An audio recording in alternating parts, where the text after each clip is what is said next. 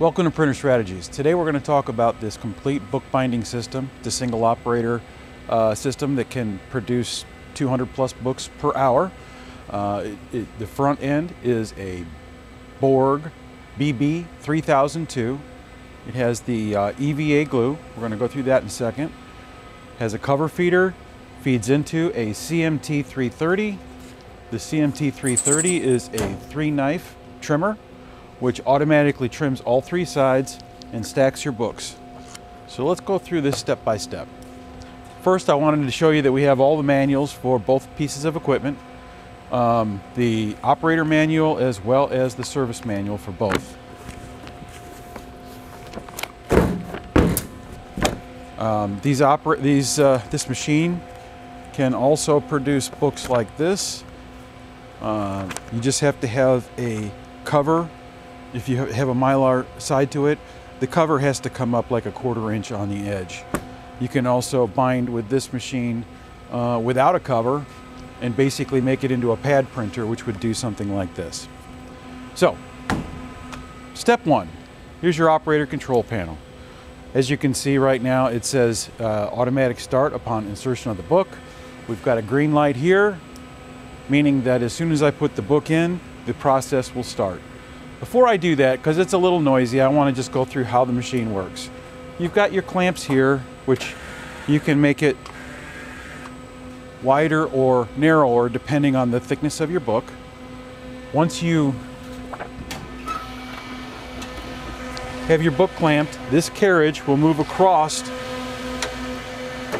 this blade right here, which has blades in both directions. There's a little blade that comes up from the top and it does this kind of thing to give you a better adhesion. So the depth of that cut, the, how much you're sawing off, it's all adjustable through software. And then the output of that gets sucked off and into the large vacuuming system back here. Again, we have all the manuals for this. That's automatic. It only turns on when it's needed to based on the milling operation. Once you've been through the mill, the next thing is it goes across the two drums where you have back gluing as well as side gluing. The side gluing wheels are here and here, and this will adjust the width based on the book thickness that it senses when you put the book in. So there's no operator adjustments here. The only thing that the operator needs to do is add glue as needed. That is your entire gluing system. The way that this works is on when you turn it on to number one, the machine is on. When you turn it to number two, it runs on a schedule. And that is because it does take quite a little while for this glue temperature to get where it needs to be to be proper viscosity to glue. So you can have the machine kick on automatically an hour before your shift and when you walk in it'll already be warm. So after the edge is glued, the carriage comes over, where the book is met with a cover that comes from this cover feeder, which in the process will produce up to four. So you've got four lines there that are scored by the cover feeder, which produces the two, the edges of the book as well as the hinges. And the hinges allow you to open the book without seeing any of the edge glue. That's optional. You can, you can turn those on or off. The thickness, where this is all laid out, can be set electronically or it can be based off of the clamp. When, when it clamps and it knows the thickness of the book that you're producing. So after the book is held in place and a, a, a short amount of drying happens, it then drops it down here where it feeds into the CMT and then into an elevator, which there's actually four spots in here. So the book would be sitting in there like that, and the elevator would just go up one at a time. That does two things. Obviously, it gets it up to the height it needs to be, but it also allows for glue, uh, the glue to dry. So that's actually kind of like a cooling tower as well as an elevator. Once it gets up here, the book is brought in like this. The clamp right here will clamp the book, bring it in. It will uh, make sure that it is centered, grab it again, and then take it down to the other end where you have first the two face trims. So here is one of them. The book would be sitting in here like this. Well, there's something in the way at the moment. Um, so the book would be underneath the knife. The knife would come down this side and that side at the same time.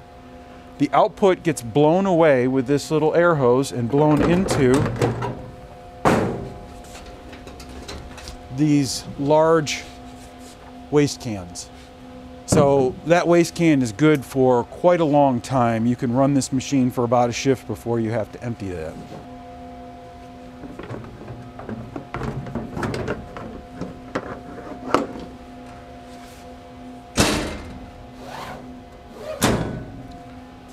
And then it, the arm brings it down and this is your face trim knife. So you have two knives on the side, one knife on the face. There's three separate waste containers. And the end result is a book that is the finished size based on your program for whatever you're trying to do and the operator doesn't have to do anything. Once that three-sided is done, it comes back here, shoots it out here where it is stacked like so where the drying continues on a nice square flat surface.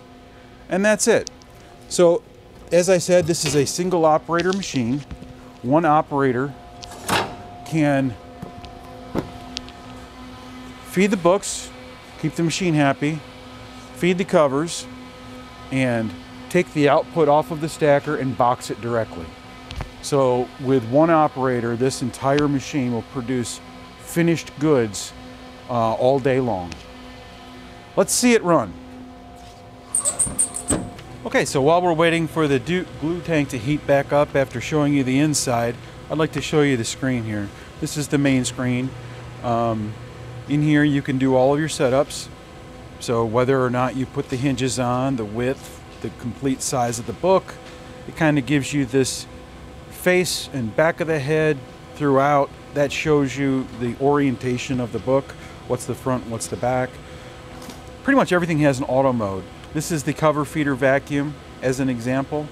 You have uh, both vacuum and air knife over there. Right now it's set to maximum.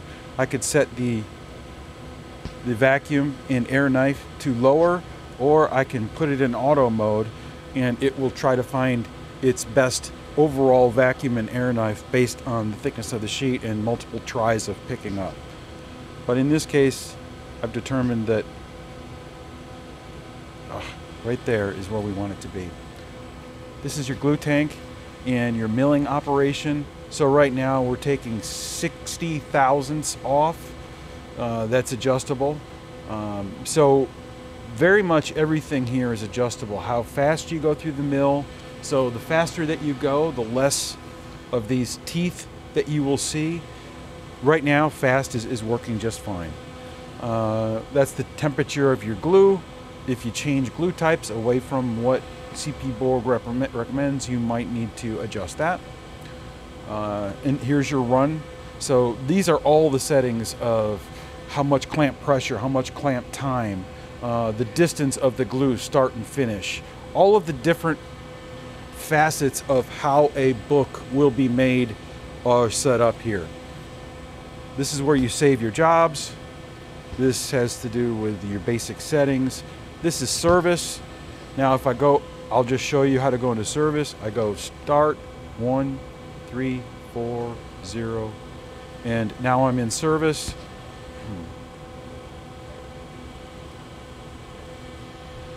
Where you can do all of your calibrations, all of your status, um, you know, you can move motors, you can check sensors, all of those sorts of things can be done here in service. I'm going to exit service and go back here, hit the green button, and we are now ready for an automatic start upon insertion of book.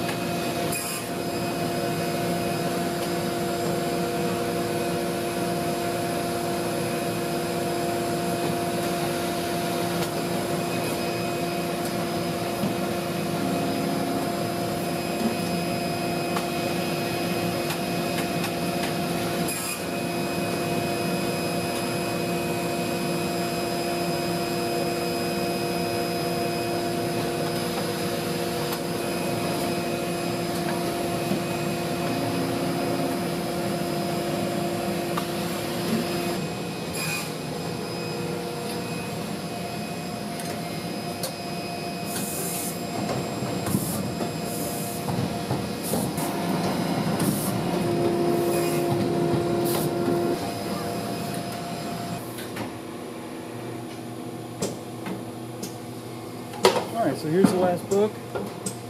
And you can see that there's plenty of room to stack books here. But the operator can now take this and drop it directly into a box and it's ready to ship.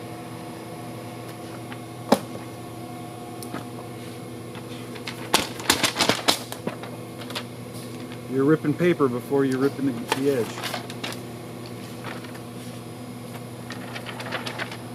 Goodbye.